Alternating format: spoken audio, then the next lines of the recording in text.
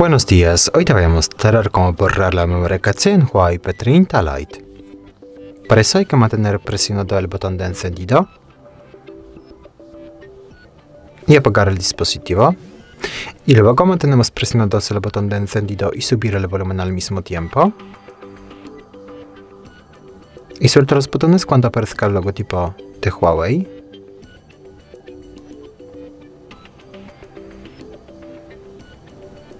Ahora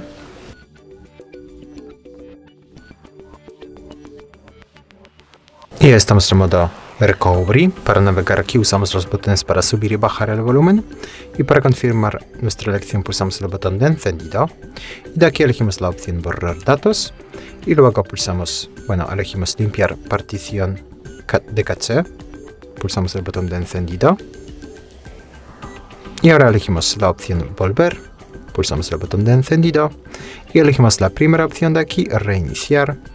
Pulsamos el botón de encendido y esperamos.